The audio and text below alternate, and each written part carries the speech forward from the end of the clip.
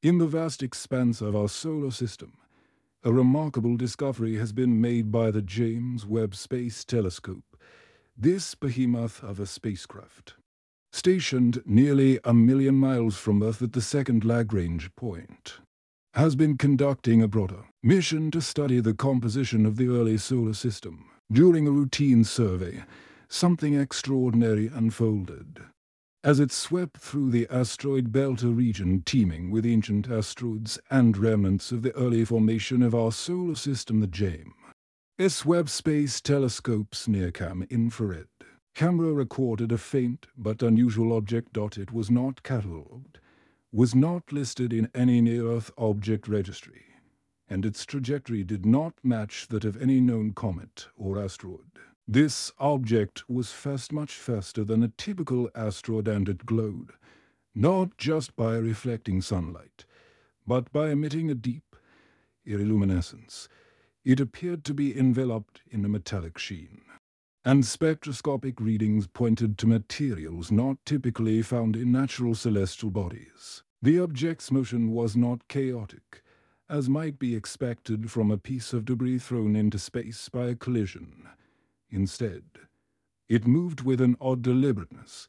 It sped up briefly, then slowed as it approached a more densely populated region of the asteroid belt it weaved through the rocky terrain as if avoiding obstacles, a sight that left scientists baffled and captivated. As the object emerged from the inner edge of the belt and passed near the orbit of Vesta, one of the largest objects in the belt, something even stranger happened. The object froze for several whole minutes. It hung in space, spinning slowly not in a somersault, but in a steady, balanced rotation as if scanning its surroundings. Telescopes on Earth were quickly redirected to confirm what James Webb had observed. But the resolution of ground-based observatories could not match the detail beamed back from Webb's instruments. The consensus was clear. It was an unusual natural body. Infrared signatures showed high internal temperatures inconsistent with frozen comets or metal-rich asteroids. Some readings even hinted at energy emission structured pulses at frequencies not normally associated with known natural phenomena. These signals carried a rhythm that was not entirely regular, but with enough regularity to attract the attention of scientists and engineers. As the object resumed its course, it veered closer to Mars's orbital path before correcting and continuing on what appeared to be a shallow, curved trajectory. Now out of the plane of the ecliptic, it rose above the normal alignment of planetary orbits a path that would require significant energy expenditure if the object was under propulsion. By this point, speculation had reached a fever pitch. Was this an undiscovered type of comet with highly reflective materials? Was it a piece of ancient debris from a lost probe? Or was it something else entirely something perhaps out of this world? The James Webb Telescope, never designed to track fast-moving objects, had been pushed to its limits. Engineers and mission control manually recalibrated the tracking systems to follow the object for as long as possible. Its near-infrared spectrometer detected anomalous compounds along the object's surface, um, resembling synthetic polymers others emitting microwaves completely outside the thermal expectations for an asteroid. The data showed that it was not simply made of rock or metal, but of complex, layered materials, some of which showed signs of structural organization incompatible with a natural geological formation. By the time the object reached the edge of the asteroid belt, it had traveled nearly a million kilometers in a matter of days. It never slowed down once it reached that limit. Instead, it simply changed angle and disappeared into deeper space, now moving on a trajectory that would take it above the plane of Saturn's orbit. Webb's sensors eventually lost it due to angular limitations and subsequent positioning. Restrictions but not before it captured one last chilling detail. A flash of light from the rear of the object faint but distinct resembled a propulsion system, but not a chemical one.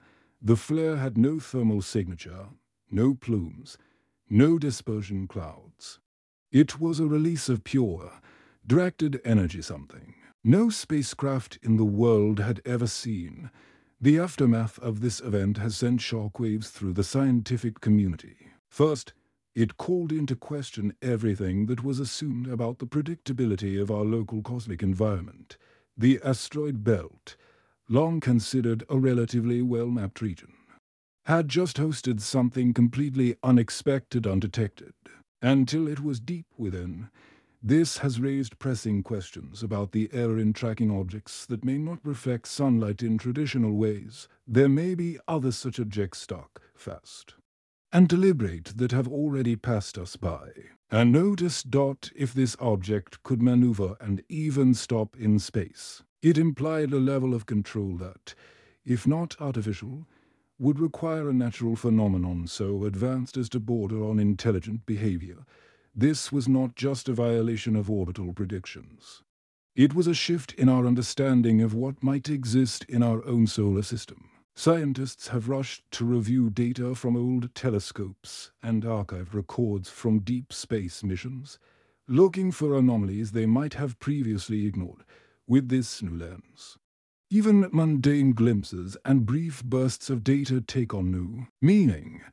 Was this object really the first of its kind, or simply the first one we noticed? What made this event even more convincing was the lack of any tail or trace of debris. Comets typically release volatile gases and dust as they approach the inner solar system. But this object remained sealed clean, controlled, its path cut through the asteroid belt with precision, never deviating from a controlled curve, even dodging dense clusters of space rocks. Its speed changed in ways that defy gravitational logic accelerating as if driven by an internal force rather than external gravitational slingshots. As researchers in the field of propulsion physics studied the spectral data again and again, one pattern became harder to ignore. The radiation pulses emitted by the object's movement had harmonic layers of frequencies nested within each other, not unlike music. It wasn't white noise or thermal radiation.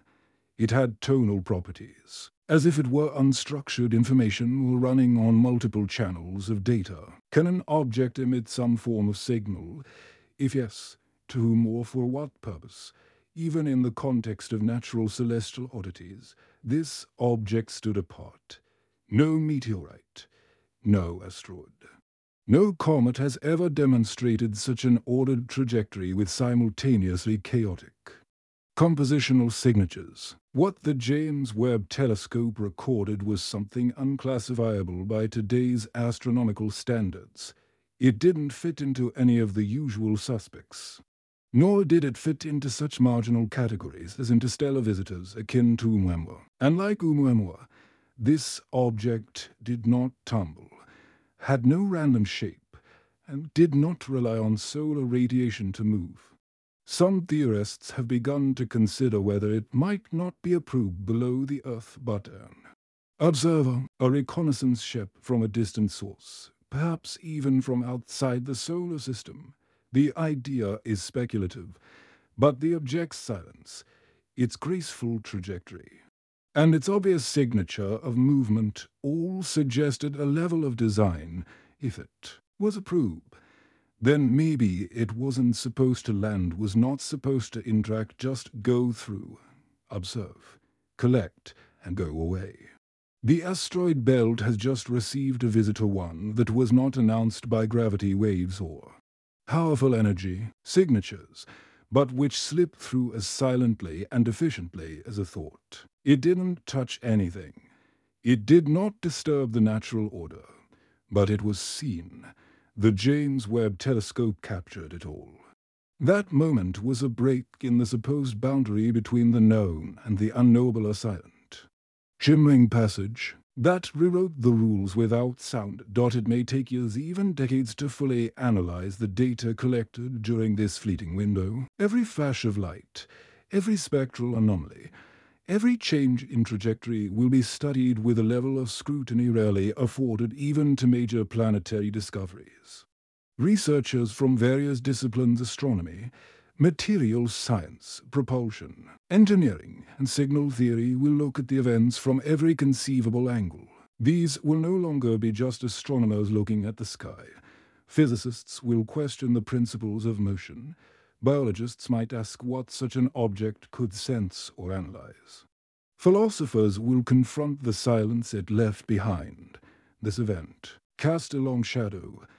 There was never any threat of collision not because of any danger, but because of the deeply unsettling possibility it suggested that there was something else out there. And it might have already passed us without stopping, not as an invasion, not even as a greeting, but as an indifferent traveler through our local space.